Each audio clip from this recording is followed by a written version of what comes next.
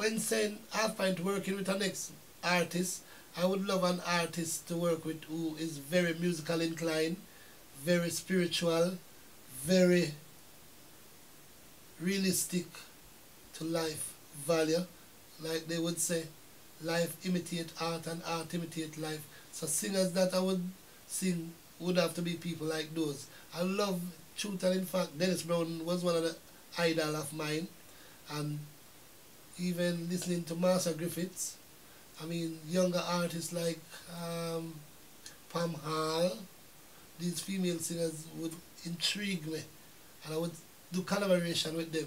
Then locally up to today date and time now you have other artists like Etana. I heard she's doing good and I hear her songs and I like her lyrical content.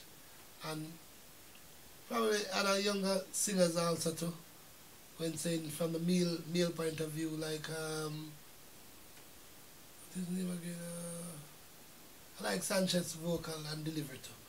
He's really a good singer.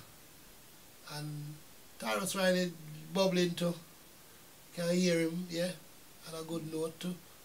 And quite a few younger artists, but as I said, them have a spiritual and them have a clean, if you know what I mean. Mm. them have a sure too.